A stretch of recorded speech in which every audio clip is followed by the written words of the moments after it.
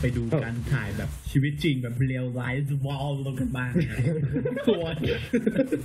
เป็นการถ่ายมุกควายนะครับอะไรก็ได้ที่มันดูสนุกสนานนะครับแต่ละโอเค ถ่ายมุกควายใช่ไหมโอเค